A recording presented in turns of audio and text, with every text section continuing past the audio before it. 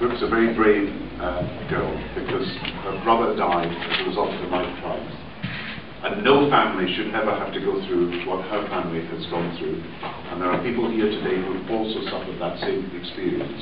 But Brooke decided that she would campaign against knives, and so she has started a campaign, and there are many other campaigns represented here that are sending out this message into the community that knives are completely unacceptable.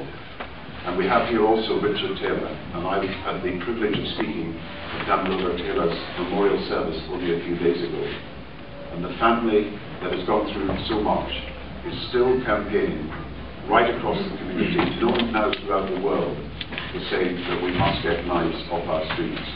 Now, we as a government can do a number of things. We've increased the sentences uh, that are applied on people simply for carrying knives. We say that there's a presumption to prosecute if you're caught with a knife in the street. We've got fines for shops that are selling knives to young people un under 18. Uh, there are more people in prison now because they are carrying knives than there has been for many, many, many years. In the schools, we're giving educational programs a boost so that young people, even in primary schools, can know the danger of knives.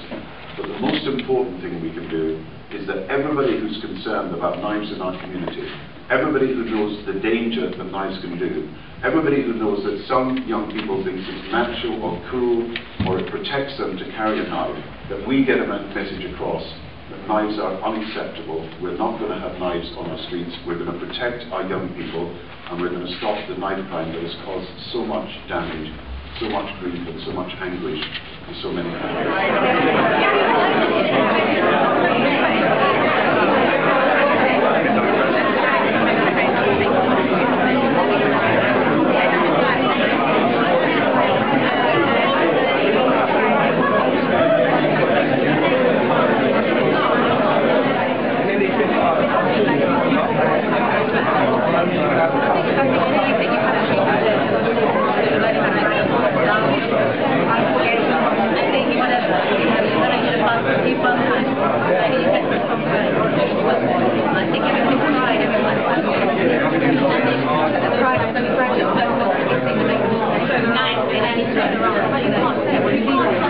Grazie.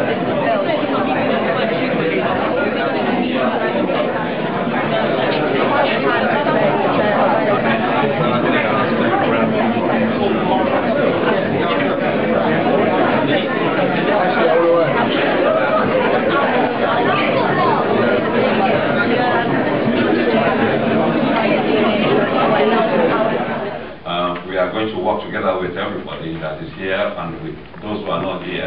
We are going to make sure that uh, the Prime Minister's initiative is carried to, um, um, to the communities, to young people that needs to be addressed uh, with uh, the positiveness of this program. The Home Secretary, we've been working with uh, the Home Office.